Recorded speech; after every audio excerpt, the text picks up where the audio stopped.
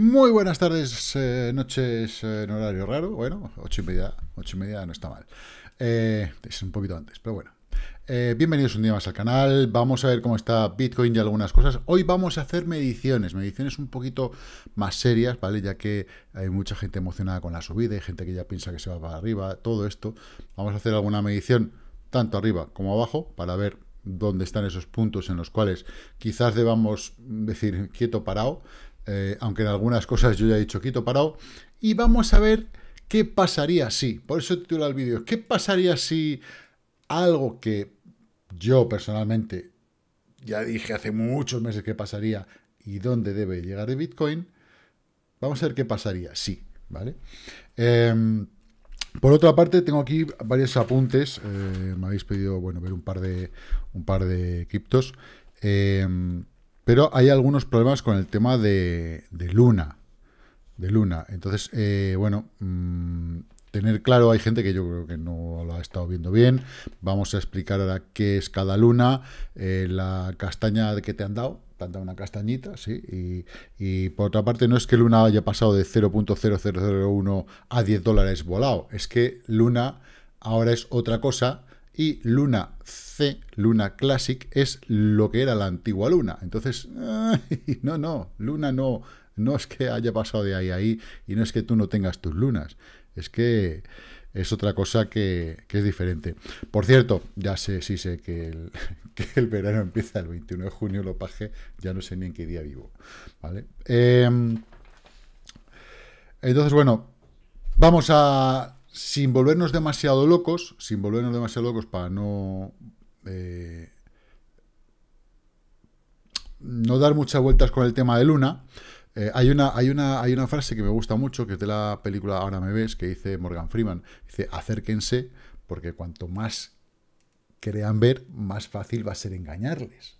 Y eso es lo que está pasando con Luna. Eh, me pregunto gente, ¿por qué ha subido tanto y tal? No es que no ha subido. ¿Y por qué, ¿y por qué ahora está en 9 dólares y ha estado en 10 y está en... Porque, porque a la gente le gusta que le engañen. Y de verdad que vuelvo a pensar lo mismo. Es decir, no ha cambiado nada en Luna y la gente vuelve a meter su dinero ahí. Porque bueno, es que Binance lo apoya, tal, no sé qué. Claro, es que ¿cómo no lo va a apoyar? Si teníais miles de millones que tiene que ahora que soltar. ¿Qué, ¿Qué pensáis que va a hacer Binance? Binance lo va a ir soltando poco a poco, para que no se te note demasiado y recuperar algo de lo que originalmente, en teoría, originalmente invirtió. Que una parte de lo que tiene Binance se lo dio directamente la gente de Luna, ¿vale? Para que lo listasen en Binance. No nos vayamos a equivocar. O sea, hay parte de lo que tiene que es gratis. Y en el momento que eh, Binance tenga eso a cero, algo dejará, evidentemente, pero adiós, muy buenas. Eso es lo que yo creo, ¿eh? Eso, al menos eso es lo que yo haría, visto lo visto. Cuidado, evidentemente no sé qué va a pasar con la estable, con tal, no sé, son cosas muy raras y, al final... Esto es como, como el dicho, ¿no? Decía Federico II el Grande. Decía, cuando cometo alguna tropelia, siempre encuentro algún idiota dispuesto a justificarlo en derecho. Que bueno, es un poquito lo que hace el Estado con nosotros. Pues eso, eh, con Luna ha pasado algo similar. Así que bueno, sin más dilación vamos a ver dónde está Luna y qué pasa con ello, pero vamos a lo importante que son Bitcoin, unas, altcoins, de una forma dinámica. Venga, vamos a hacer esas mediciones que hay unas zonas ahí de confluencia que son importantes. Venga, comenzamos.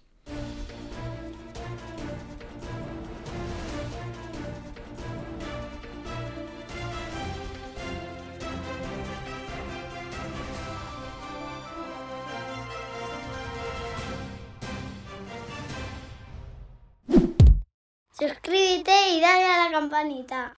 Únete a la mejor comunidad de criptomonedas. Pues eso, únete a la mejor comunidad de criptomonedas y por ahí debajo tienes los links para ir al Discord.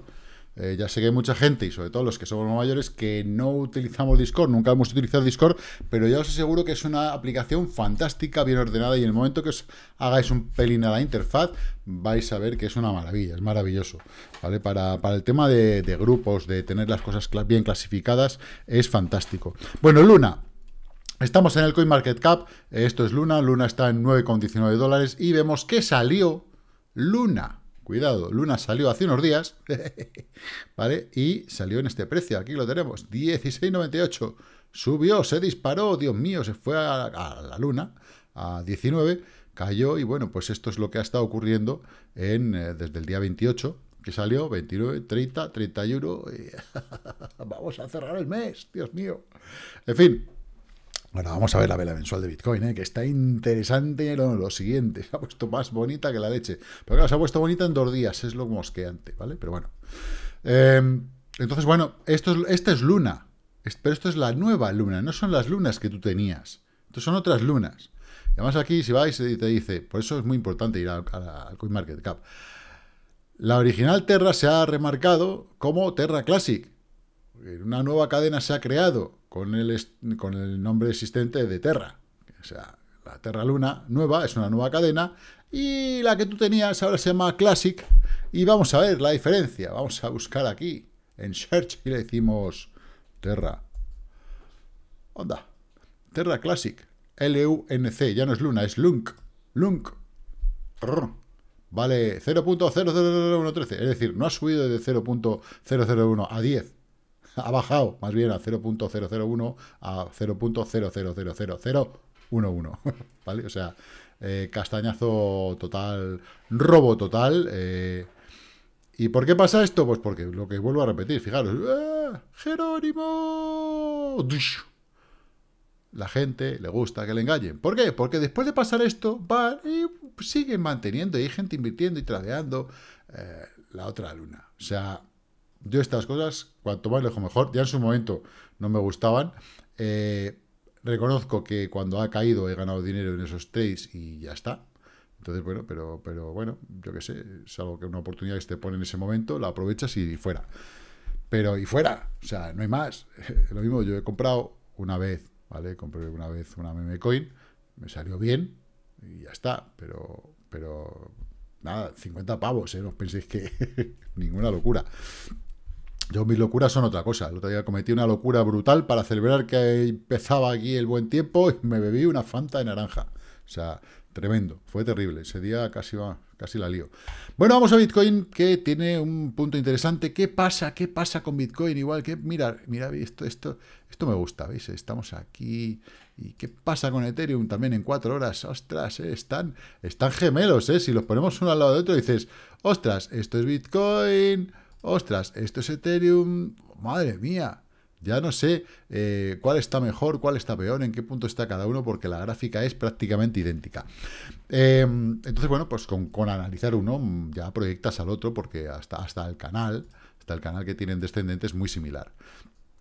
Bien, eh, Hemos tenido un pequeño rebote de Bitcoin, hemos pasado esta zona, este pequeño rebote viene a ser aproximadamente un 10%, 12%, ¿vale? Está bien, muy, muy guay, muy bonito. Eh, pero claro, necesitamos un tropecientos mil por cien, pero bueno, no importa. Estos son pequeños rebotes del mercado que están bien. Eh, diciendo, preguntándome mucha gente, ¿hay posibilidad de ir hasta aquí? Eh, sí, claro, 37 y pico, más o menos, ya lo dijimos, 37,4. Estoy en, FTX, ¿vale? 4 horas, puede variar un poquito, pero vamos, más o menos es lo mismo. Entonces, este máximo que hizo aquí, 37 y pico, para, para, para retestear eso que tenemos, ese 37 y pico que tenemos desde el verano, que aquí fue resistencia, yo creo que es la zona en la que en todo caso, si seguimos a la parte superior, antes de caer, eh, llegaremos, ¿vale? Puede ser que haya algún mechazo y llegue un poquito más arriba, pues podría ser, pero vamos, es una zona y es una zona aproximadamente. Si nos ponemos en diario, eh, bueno, vemos que FTX, pues bueno, tiene menos, menos historial, pero para lo que vamos a ver, eh, a mí me, me, sobra y me vale y me llega. Em, vamos a poner en primer lugar este punto de pivote, ya sabéis que para mí fue súper importante porque después del arranque fue el primer punto, ¡paf! De soporte, donde venimos, paramos y venga otra para arriba, bajamos, subimos y ya, ¿qué pasó?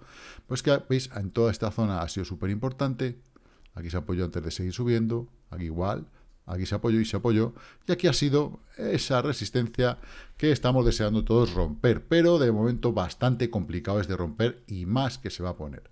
¿Por qué digo esto? Vamos a ver. De momento tenemos una línea de tendencia descendente, tenemos una zona horizontal en 37. Luego tenemos otra línea de tendencia que es importantísima, que es esta, ¿vale? Con sus correspondientes toques. Toques, no tokens. ¿Vale? 1, 2, 3. Y yo creo que es donde podemos venir a parar y donde tenemos una primera... Eh, vamos a dejarlo ahí bien. Una primera confluencia interesante. ¿Por qué? Pues mira, muy sencillo. Vamos a hacer... Eh, vamos a medir nuestro querido amigo Fibonacci. Tenemos un retroceso, o sea, una caída. ¿Cuál es el posible retroceso de esta caída? Pues desde este mínimo que está aquí, vamos a ampliarlo desde aquí, hasta el máximo que está ahí, donde empezó la caída, ¿vale? Si nos fijamos, vemos que tenemos, bueno, primero la línea roja se nos viene a la zona de máximos aquí, la hemos roto, ¿vale? esta roja transparente que aparece aquí. ¿Y cuál es el objetivo? ¡Ay, Dios mío! Lo tenemos aquí en la línea verde. ¿Y nos, nos confluye con algo? Bueno, pues nos confluye con alguna cosa que no está mal, que es este, ¿veis esta zona donde paramos aquí? Ahí, ¿Vale? Pues tenemos toques aquí, otro toque aquí, otro toque aquí, aquí lo atravesamos y enseguida subimos, ¿vale? Con lo cual, esta zona, más o menos de los 34.300 aproximadamente, vamos a marcarlo aquí, ¿qué tenemos? Pues tenemos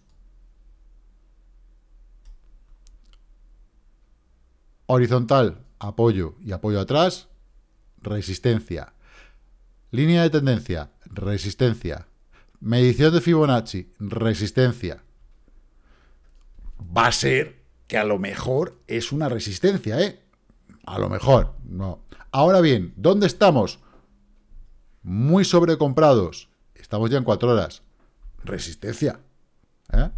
Eh, entonces, quizás, ¿vale? Solamente quizás podamos considerarlo como una resistencia. ¿vale? Si vamos para atrás, la línea que hemos marcado, ¿vale? Bueno, pues vamos viendo que aquí también fue una resistencia en su día, fue zonas de apoyo, fue zonas de apoyo, fue ciertas resistencias que hubo en esas zonas, ¿vale? Y eh, lo que te rondaré morena. Fijaos cuando subió aquí, fue un pico, cayó. Entonces, no es algo que sea brutal, que sea tal, pero es una zona de resistencia suficientemente importante en varios puntos como para que ahora lo sea. Porque además encima, como vuelvo a repetir, se junta con una medición de FIBO y con una línea de tendencia. Vamos a verlo. Eh, y sobre todo también, evidentemente, esta sobrecompra que tenemos. Por otra parte, vamos a hacer otra medición, porque claro, no solamente tenemos que ir y, decir, ostras, eh, solamente podemos subir hasta aquí. Bueno, de momento es una resistencia que habría que intentar solventar, pasar. Pero ¿qué pasa? Que claro, hemos subido un 12%, más o menos. Entonces tenemos que ver si hemos tocado un punto ahora mismo de resistencia, que lo es, ¿vale? Porque estamos en esta zona. Es una zona, no es un punto exacto, ¿vale? Eh, en la que no hemos pasado ni con la mecha estos máximos. este máximo no me importa, me importan estos. ¿Vale? Por este máximo en unos, en exchanges sí se dio, en otros no se dio, dependiendo del exchange, de, si, de cómo juega en futuro. Entonces, ese máximo todavía no lo hemos pasado. Por eso estamos retrocediendo, nos relajamos un poquito, hacemos una banderita, igual que hicimos esta, ¿vale? Movimiento, banderita, movimiento, banderita. Aquí intentó hacer movimiento antes de tiempo y claro, eh, no ha podido. Pero, ¿qué más resistencias tenemos ahí? Anda. Plaf, la media de 200 clavadito, según ha llegado, ha hecho, quieto parado, que para pasar esto, que es un muro un poquito más gordito, pues tenemos que empujar un poco más entre todos y remar para que podamos al menos llegar a esta zona. Para eso tenemos que soltar un poquito de carga en el RSI, vamos a verlo en una hora, ¿vale? Que lleva mucho tiempo ya, bueno, lleva bastantes horas, ¿vale? Salto, recuperación salto, recuperación. Y ahora tenemos que tener en cuenta una cosa importantísima. ¿Qué pasa en una hora? Pues algo que es una divergencia de esta que tanto os gusta. Aquí estamos subiendo, pero aquí ya estamos bajando. ¡Ay, amigos! ¿Vale? Entonces tenemos una divergencia que se llama en este caso bajista. Esto quiere decir, pero es una divergencia en una hora, ¿vale? Vamos a, relajarnos. Es una divergencia en una hora. Y bueno, pues vamos a ver eh, dónde nos puede llevar. De momento, teniendo en cuenta que tenemos una divergencia en una hora, pues en una hora es posible que tengamos un retroceso. Y este lo más normal. Em, ¿Dónde? Vamos a ponernos en cuatro horas, que lo vamos a ver un poquito mejor. Vamos a apagar las luces del All-in-One para poder medir bien en FIBO. Entonces, si yo tengo este máximo y tengo este mínimo, ¿vale? Pues vamos a coger este máximo, vamos a coger este mínimo, ¿y qué nos dice? Pues que eh, la primera zona que tenemos es la línea rojita que tenemos aquí, que además coincide a la perfección con este máximo de aquí, coincide a la perfección con zona donde se ha apoyado, pero en el momento que la perdamos, ¿dónde vendemos a parar? A nuestra línea verde. Y nuestra línea verde vamos a tirar una horizontal, justo en ella, coincide con alguna cosa que antes era una resistencia y ahora puede ser un soporte, vamos a quitar las mediciones de FIBO, bueno, vamos a dejarlas porque ahora tenemos que ver otra cosa. Pues hombre, curiosamente coincide con esta zona que ha sido resistencia, resistencia, resistencia, resistencia, resistencia, que ahora es soporte, soporte, soporte, soporte, soporte, porque la hemos pasado. Entonces, lo ideal es, una vez que pasamos un soporte, o sea, una resistencia, perdón, hacer de soporte, apoyarnos en ella, probarlo, decir, oye, he construido este piso, es seguro, si saltas un par de veces y es seguro, venga, vamos a construir el siguiente piso. Si saltas un par de veces y resulta que se rompen las tablas y te das para abajo, pues eh, ya sabéis lo que pasa, ¿no? Eh, es, bueno, pues una forma sencilla de explicar cómo funciona el mercado. Y yo creo que, y es que es así como debe de ser. Vale, ahora bien, aparte que en nuestra línea verde tenemos eh, esa zona que es súper interesante, dices, ya, pero en un momento dado, ¿podríamos tener una mecha que caiga más?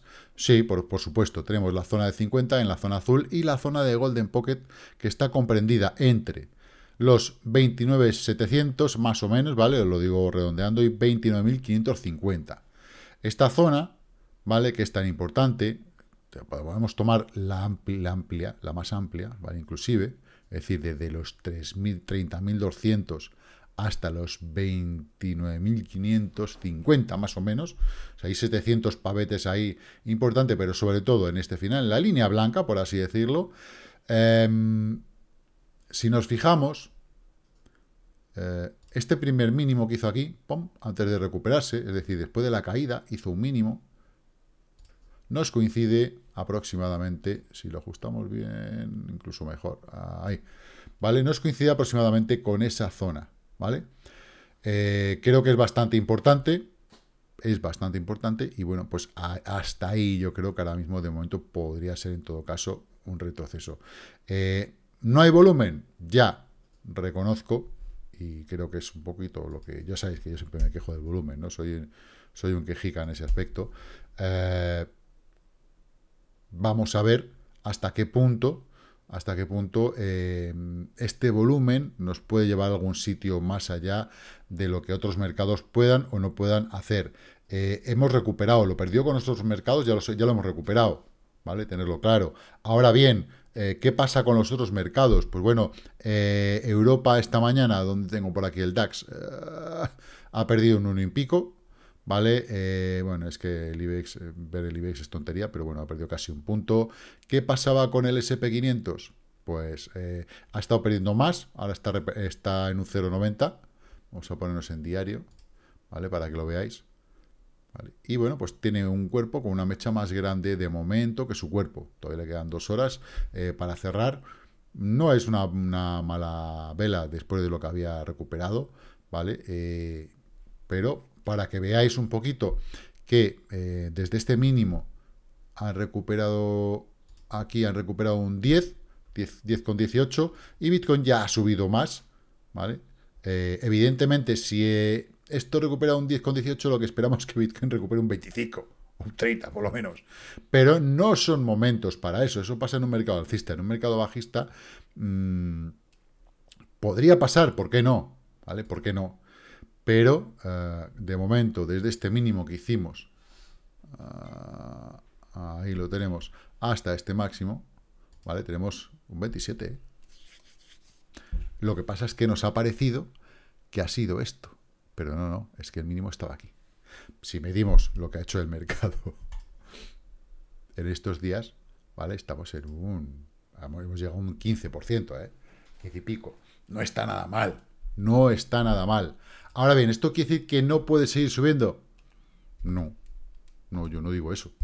¿Vale? Además, ¿qué ha pasado? Que, bueno, Europa, ya sabéis, 8,1 de inflación, cuando era algo que no iba a pasar, pero bueno, ya sabemos cómo funcionan estos políticos del Banco Central, pero tampoco podemos luchar contra ellos. Como luchemos contra ellos y hagamos contra mercado, contra lo que ellos hacen, estamos, estamos fulminados, eso seguro. Entonces, bueno, son idiotas, son unos jetas que viven del dinero de todos, eh, y dicen, ah, no, si yo no pago impuestos, no, no, perdona. Tú cada vez que vas a comprar una, una comida, una barra de pan, estás pagando impuestos. Te compras una bolsa de pipas, pagas impuestos. Te compras un, papel para escribir y un boli y pagas un 21% de, prácticamente todo. Cualquier gilipollez que te compres, estás pagando impuestos.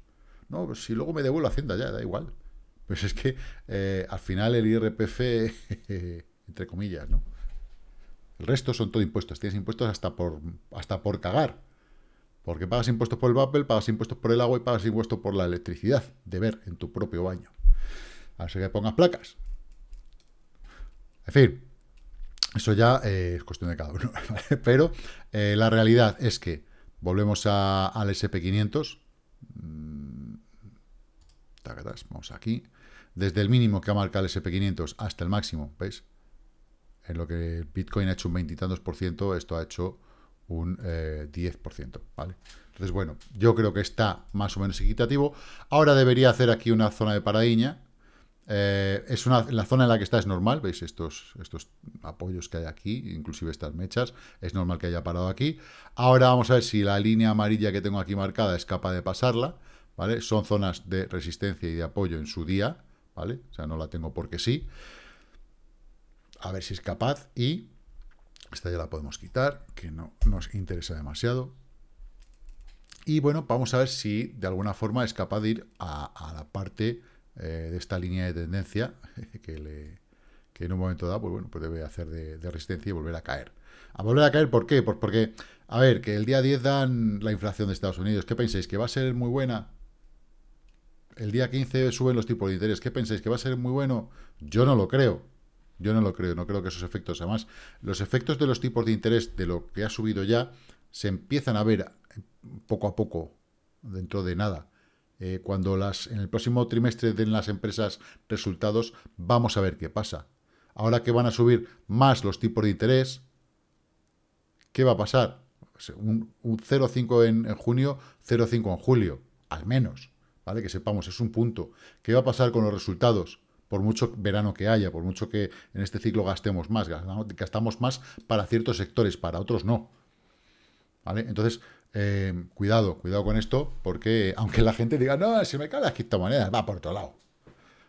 El mercado de las criptomonedas tiene otros ciclos, tiene otras cosas, pero, pero, sí va ligado a la economía. Y si no hay economía para invertir, no hay economía para invertir en ningún sitio, sea criptomonedas o sea lo que sea. Y eso es lo que os tenéis que meter en la cabeza. ¿Vale? Por mucho que algún analista diga, ¿vale? Entonces, bueno, eh, mucho cuidado con estas cosas porque al final pasa. No, yo no he visto ninguna claudicación en el mercado, ciertamente. se ha dicho, he visto un retroceso, ahora un rebote sobre ese retroceso, pero aquí claudicaciones, ya os digo yo, que todavía no ha habido.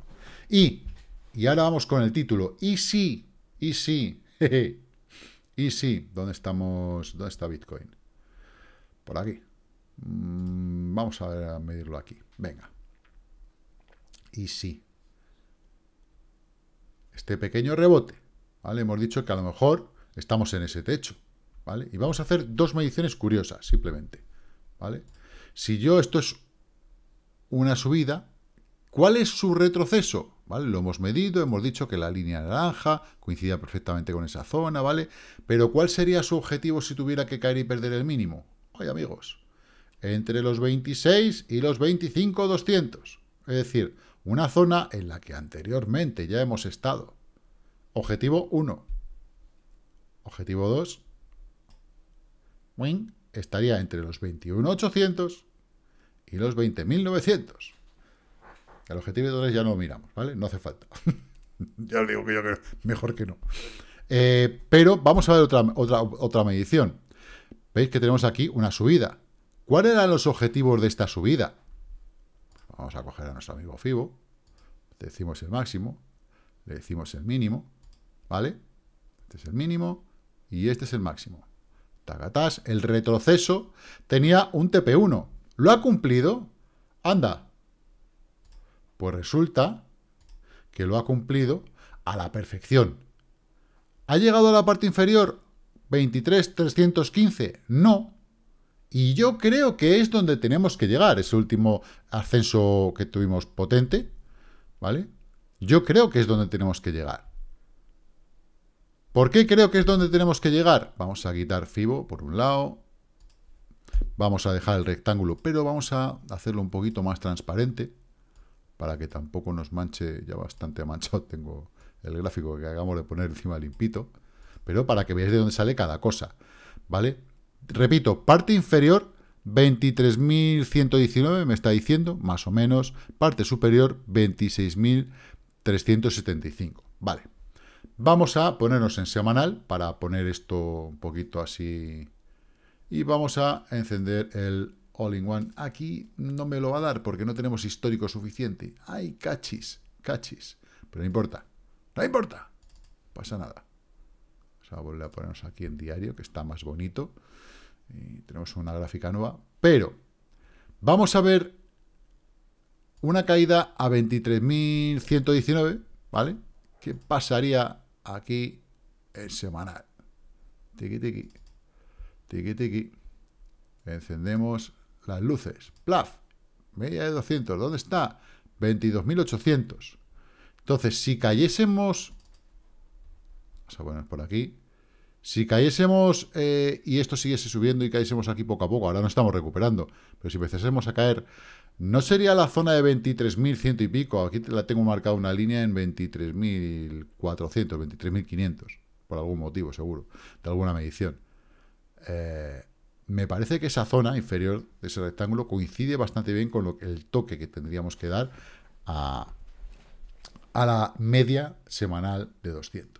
Y yo sigo empeñado, y lo seguiré hasta que no se demuestre lo contrario, que tenemos que ir a tocarla, tenemos que ir a buscarla ya veremos cuándo, en qué momento, porque es lo que no sabemos, la temporalidad. Nada más. De momento, lo que sí es cierto es que en toda esta estructura hemos hecho mínimos descendentes y un máximo más o menos ascendente. Pero es ascendente, aunque sea un doble techito aquí que nos hemos ido al carajo, ¿vale? Pero es ascendente. Pero los mínimos ya que sí que son descendentes. Esto es una realidad y una verdad como un piano. Y además, y además, tenéis que tener en cuenta algo, voy a quitar el árbol de Navidad para que se vea un poquito mejor, que las estructuras que tenemos, esta estructura de mínimos, ¿vale? Y esta otra estructura que se está formando ahora de mínimos, ya se me ha ido aquí la pinza, espera que... ¿Vale? Esta otra estructura, esta estructura está por debajo de esta. O sea, esta estructura le hace de resistencia a esta. ¿Vale? Si ahora subiéramos, hiciéramos ese rebote fantástico hasta la zona de 37, por ejemplo, en esta línea de tendencia, con esta horizontal que hemos estado midiendo antes, no sé, tiene pinta de que todavía queda un poquito de, de, bajada, ¿vale? Entonces, simplemente pensarlo, pegarle dos vueltas. Y ahora, siguiente, lo he, hecho lo he puesto en el corto. Fijaros dónde ha parado. Recordar que hemos estado viendo este canal horizontal en el RSI, se rompió el canal y justo ha venido a parar a la prolongación de la línea de tendencia de máximos.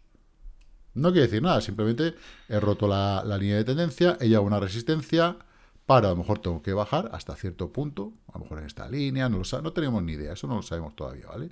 Pero esta, esta que tenemos aquí, mm, vamos a, Vamos a ampliarlo, así me estoy con la herramienta de dibujo.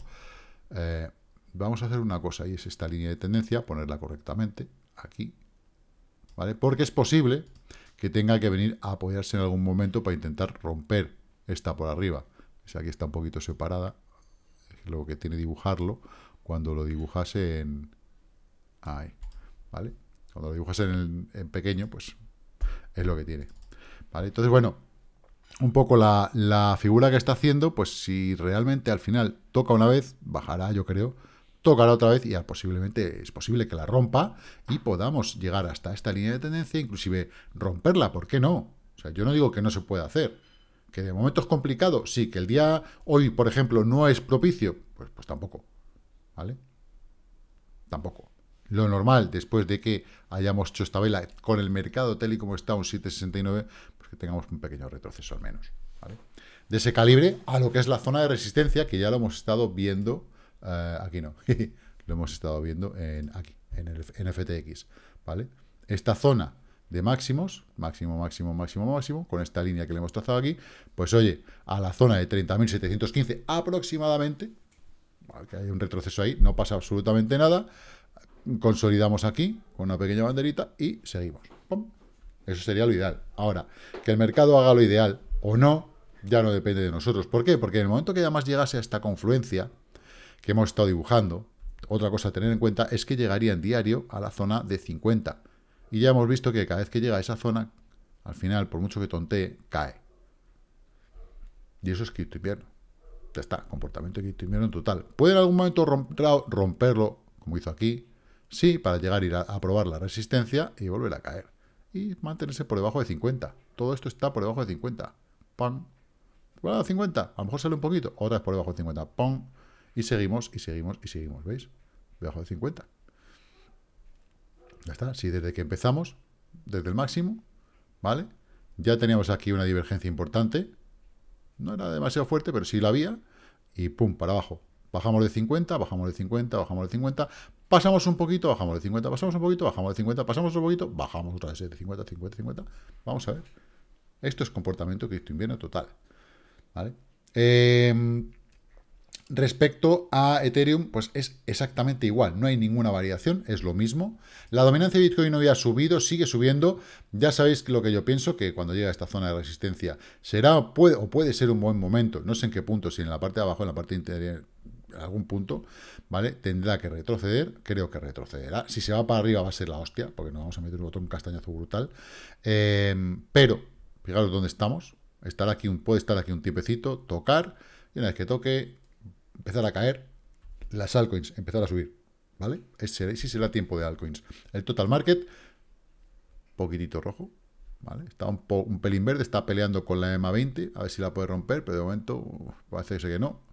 Eh, y a respecto a esto, Cardano, por ejemplo, hoy alguien me ha preguntado, ¿qué pasa? ¿Cómo entraste en 0.45 en Cardano? Oye, fantástico, enhorabuena. Tal. No, no, yo, si, si yo ya sabéis, toque, arriba, toque, arriba, toque, arriba, toque, arriba, toque, compro. ya está.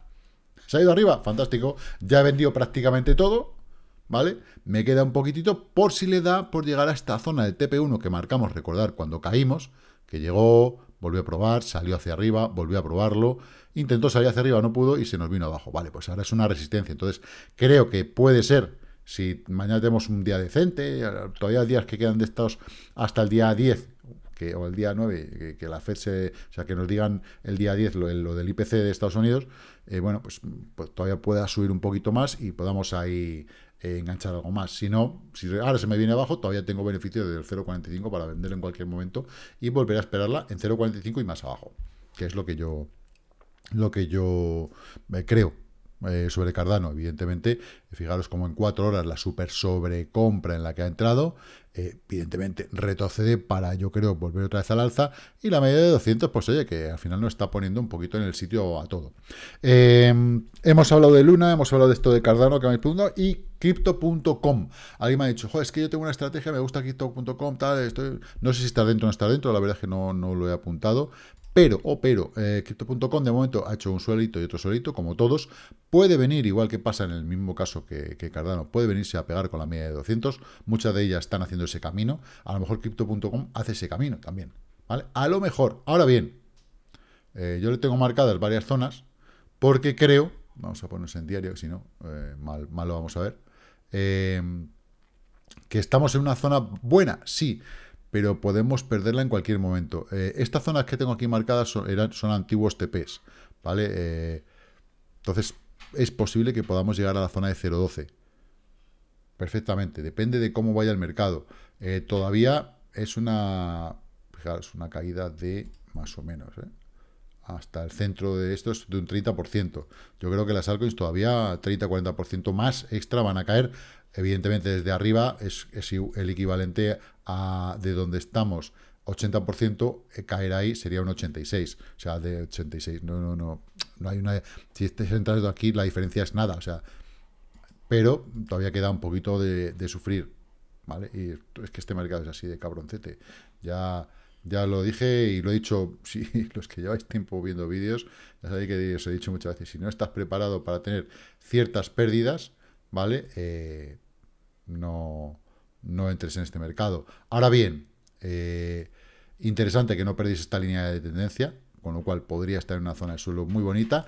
En el medio plazo, ¿vale? En el medio plazo, si la pregunta es, ¿qué no? ¿Tú crees que en el medio plazo puede recuperar este máximo que hay aquí, en 0.24, este máximo que hizo aquí, arriba, en 0.51, ¿vale? Inclusive su máximo histórico, cerca de 1, yo, yo personalmente creo que sí, yo creo que sí, que lo va a recuperar. ¿Por qué?